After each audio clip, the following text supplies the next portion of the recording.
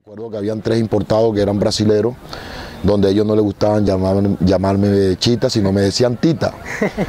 Y bueno, el entrenador era Rafa Santana y Rafa Santana eh, se acerca ya a San Félix para buscar de hablar conmigo, ya que él preguntó, mire, ese brasilero es muy bueno, y entonces Daniel Nicola le dice, no, profe, es un muchacho de San Félix, si quiere le doy la dirección, la dirección para que lo busque. Y así fue.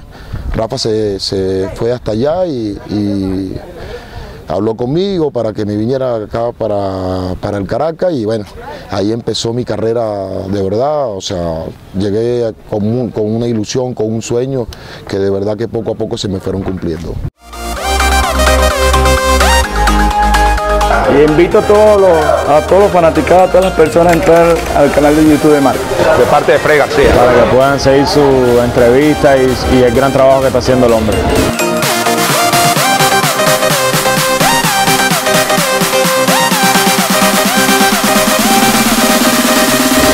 Se fue.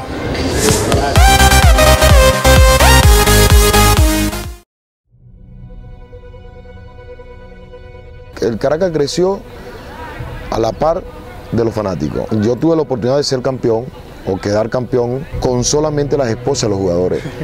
También puedo decir que quedamos campeón con estadio full.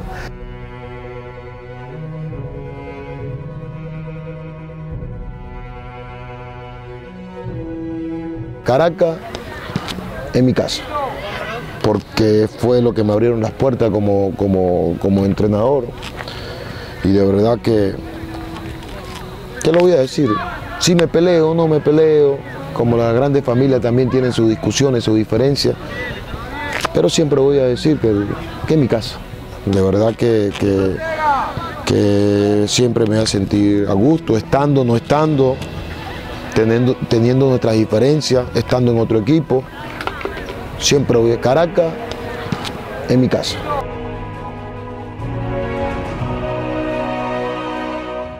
Ese primer periplo exitoso fueron cinco títulos con el Caracas Fútbol Club. Muchas experiencias y muchas emociones ¿no? en, ese, en ese primer ciclo con el Caracas. Bastante. Yo creo que nosotros, el Caracas, marcó una década. Creo que siempre fue, estaba por encima de lo demás, le llevaba una morena. Eh, tanto, tanto sí que los otros equipos buscaron de, de, de, de hacer cosas que hacían el Caracas. Y creo que Caracas, tener una cancha, tener una infraestructura que, de verdad que nos hace falta muchísimo a, nuestro, nuestro fútbol, este, siempre estaba por delante de lo demás. Eh, sí, ganamos cinco estrellas, pero, pero también se le suman los torneos cortos, que son como cinco. Eh, hoy tengo siete títulos, pero también tenemos también tengo siete, ocho torneos cortos, eh, Copa Venezuela. Pero bueno, yo digo que, que yo le doy gracias a, a, Dios no solamente tener los, los mejores jugadores, sino que también tenía un cuerpo técnico que también se esforzaron y, y, cuando tú te rodeas de gente con, con, conocimiento, creo que te potencia.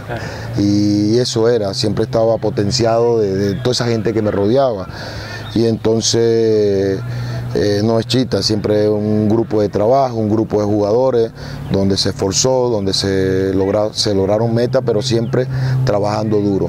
Y de verdad que, que tengo mucho que dar todavía, estamos enfocados, donde estamos trabajando un proyecto eh, en el Caracas, donde, donde buscamos potenciar de que el jugador joven pueda llegar rápidamente a la selección o, o al exterior, ya que uno de los equipos privados, eh, de verdad que es muy complicado ahorita mantenerse, pero bueno, gracias a Dios siempre con llegar a competencia internacional y poder vender jugadores.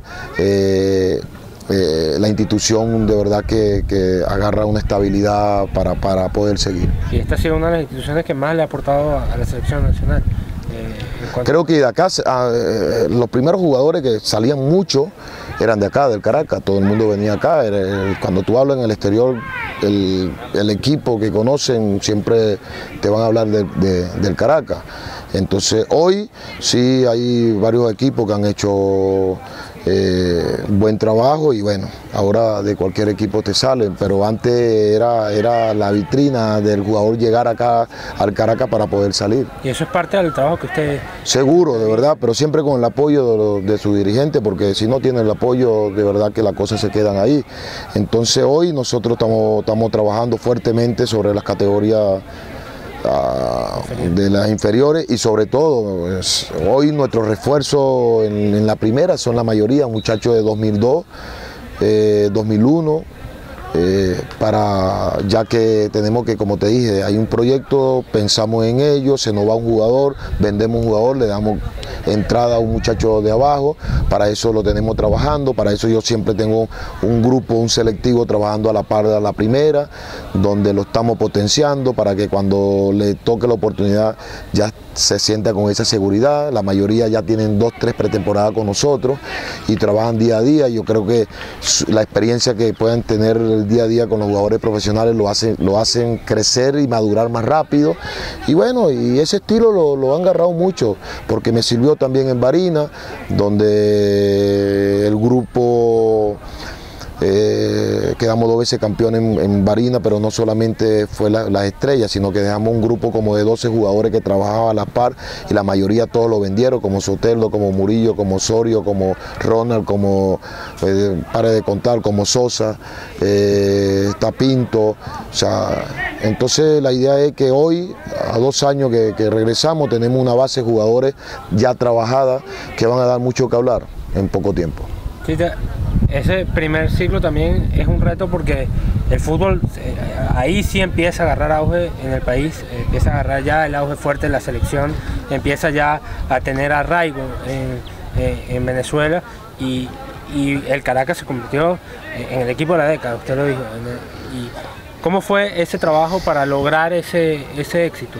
Yo siempre digo que, que el Caracas creció a la par de los fanáticos.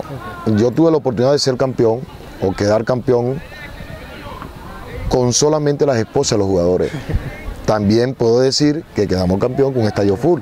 Entonces quiere decir que a medida que se lograban títulos, la fanaticada iba creciendo, creciendo. Y hoy de verdad que sin lugar a duda, para mí es la, donde es la mayor fanaticada. Hoy, hace un mes, jugamos en, en Uruguay, donde teníamos mayor fanaticada que, el local. O sea, de verdad que y, hemos jugado en Huancayo, en Perú, y también, y donde vamos, eh, mínimo te van 500, 1000, 1500, 2000, o sea, es bastante. y creo que pero creció a la par de, las cosas buenas. O sea, yo creo que un equipo cuando se logran muchas cosas, eh, la gente se va sumando, se va sumando, se va sumando porque la gente se anota con los ganadores. Eh, y de verdad que el trabajo que se estaba haciendo no solamente de lograr los objetivos, sino que también se le daba cabida a muchos jugadores. Aquí han salido jugadores jóvenes que se han vendido y, eso se, eh, siguen con ese mismo proyecto y que hoy por hoy, como te dije, o sea, son pocos los equipos que dependen eh, de sí mismos. entonces yo creo que, eso te hace dar un plus totalmente diferente. Cuando tú hablas del, fútbol nacional, te hablan de deuda, algunas cosas, de lo malo, porque hay cosas bonitas también, pero siempre a veces resaltamos lo malo. Pero, pero es la realidad, hay muchos equipos que tienen deuda, cuando te refieres al Caracas son 29, va a cumplir 30 años creo, y jamás se la debió medio a un jugador. Entonces esto se da un equilibrio, una estabilidad y el jugador se siente, simplemente tiene que venir acá a trabajar, sentirse como profesional. Entonces eso te da una cosa diferente, o sea, te preocupa solamente por trabajar pues, y, dar lo mejor de ti porque sabe que, económicamente este, este, va a llegar el último, vas a tener tu dinero. Eh, tu familia va a estar tranquila, que vas a cobrar y te vas a sentir con, esa seguridad. Eh, hoy, hoy por hoy también hay muchos equipos que hoy tienen esa... Las cosas han crecido, de verdad que nuestro fútbol ha crecido para bastante bien, nos falta mucho, bueno, sí, pero bueno, este, esperemos que, que siga avanzando, que, que, nuestra liga siga fortaleciendo, que sigan inyectándole cosas importantes para que nuestro fútbol sea uno de los, en Sudamérica de los más importantes, pero para eso hay que todos nosotros, los que estamos metidos acá, ustedes, nosotros, eh, seguir apoyando, seguir inyectando para que nuestro fútbol siga creciendo. ¿Qué significó ese crecimiento para usted? O sea, usted me dice ahorita que el primer título que consiguió era con las esposas, literalmente, de los jugadores, y después ver ese estadio repleto de gente, y bueno, saber que eso también es parte de su logro, porque usted mismo lo dice, el público se atrae por los campeonatos. Sí, le, siempre le hablé a, lo, a los dirigentes, al gerente, de que mira, no solamente ganar partido acá, hay que ganar partido afuera. Claro. Y yo creo que para mí hay un antes y un después en el Caracas, cuando por problema tuvimos que viajar a Cúcuta y se le gana a River Plate. No solamente se le ganó a, en Buenos Aires, sino que se ganó acá.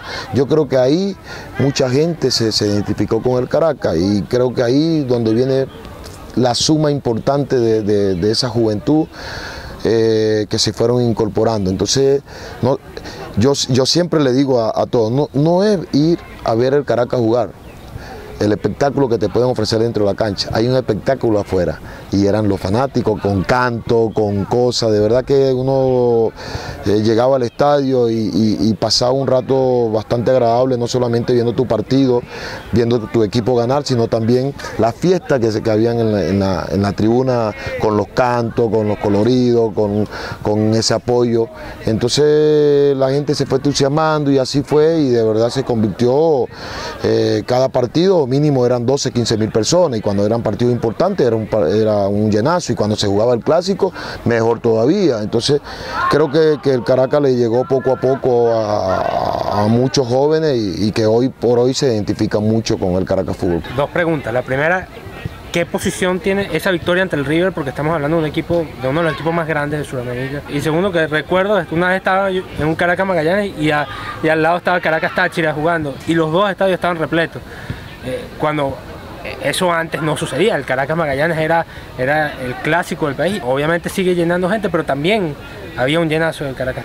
Sí, sí, eh, Caracas Magallanes siempre está por encima, pero después en los últimos tiempos creo que en fanaticada siempre lo, se, se, superó. Primero que, lo, que, los estadios son más, más grandes. que, que los de béisbol. Y de verdad que, que que era impresionante todavía, o sea, lamentablemente por situación de todas las cosas que estamos viviendo, a veces muchos fanáticos están fuera, eh, muchos no pueden pagar una entrada y así hacen el sacrificio, dejan de comer para poder asistir a un partido eh, de Caracas Táchira. Lo malo es que a veces copiamos todo lo malo y que lo, lo, llevamos como, con, con, violencia y, y, de verdad entre Magallanes y Caracas no se ve esa violencia, se ve esa, ese, son, son, son panas se, ve esa camade, camade, camadería. Entonces tú dices, pero ¿por qué, ¿por qué no podemos ser nosotros igual que en el fútbol?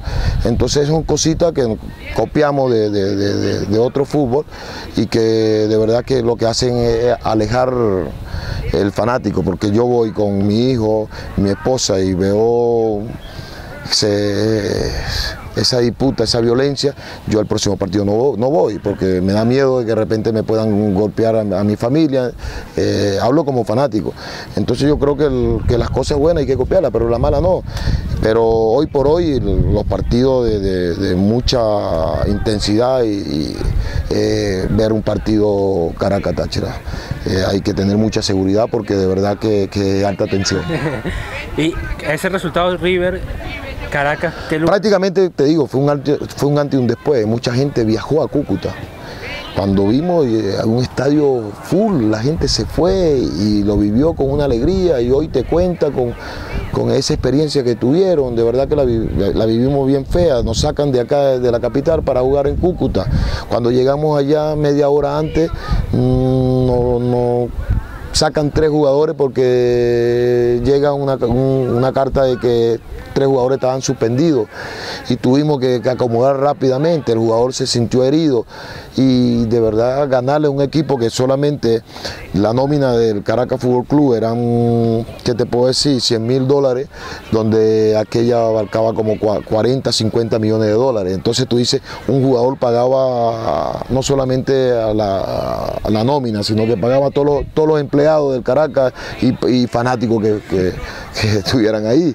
Entonces, para nosotros de verdad fue un partido y ganar 3-1 fue bastante o sea, meritorio, porque dice, no, bueno, a veces se da un batacazo, sí, pero nosotros también le ganamos en Buenos Aires 1 0. Entonces, ese era un, grupo que de verdad, eh, muy buenos jugadores y que era un equipazo, de verdad que, cuando tú lo veías en la cancha era, te sentías seguro cuando, cuando salían a la cancha.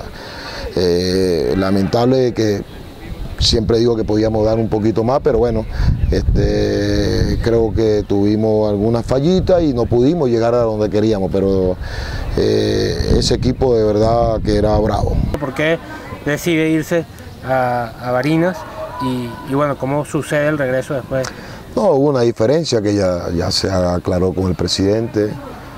Eh, salimos molestos por unas cosas de una cosa pasajera que se convirtió bastante fuerte y bueno, eh, quedamos, eh, yo renuncio al Caracas y ahí paso seis meses, ocho meses sin dirigir, me llama la gente de, de Zamora y bueno, me toca ir allá con mucho orgullo, de verdad que es mi segunda casa, de verdad que el cariño que, en esos dos años que recibí allá, de verdad que no tiene nombre. Y empecé a trabajar allá este, con un proyecto donde, donde la idea era poder, como te digo, darle un nombre y sobre todo hacer un equipo competitivo con los jugadores de allá, de, de Barina. Y, así fue, así fue, de verdad que, que es difícil cuando sale de un equipo que tiene todo a trabajar con, prácticamente de la nada. O sea, un equipo, pero que la ilusión y el sueño tenía los dirigentes de poder lograr cosas. Entonces empezamos de cero. Empezamos de cero, donde recibí el apoyo total de, su presidente, del gerente, de, los directivos. Y bueno, cuando las cosas se hacen bien, hay mucha probabilidad de conseguir los objetivos, y así fue. ¿Cómo sucede el regreso al, Caracas? Bueno, mira, bueno, se dio el tiempo, a veces dicen que el tiempo cura las cicatrices. Este, de verdad que hubo un diálogo entre el presidente, tuvimos un diálogo entre el presidente y llegamos, bueno, a una conclusión, me llamaron, me, ofrecieron este, un proyecto donde, como te lo expliqué antes, que la idea es tener eh, 20 jugadores, entrada en Copa Internacional y poder proyectar los jugadores jóvenes. De verdad, hace dos años, donde ha entrado económicamente eh, algo que de verdad que, importante a la institución. Hemos sacado jugadores, hemos potenciado jugadores y bueno, y todavía apuntamos, seguimos trabajando para seguir logrando cosas y, que el día de mañana que, que, se, sea como totalmente como una empresa y que sea una fábrica de poder sacar jugadores jóvenes. Porque el, eh, hoy por hoy te lo da, hoy se le, le interesa mucho muchachos jóvenes para poderlo tenerlo, para ir potenciándolo, muchachos de 20, 18 años, 21, 22, y nosotros tenemos unas inferiores que de verdad que, incorporamos un coordinador, este, nos enfocamos de tener 30 jugadores trabajando a la par a la primera para poder llevar de que esos jugadores el día de mañana reciban una oportunidad y poder estar en la selección o si no irse al exterior. ¿Qué significa el Caracas Fútbol Club para ti?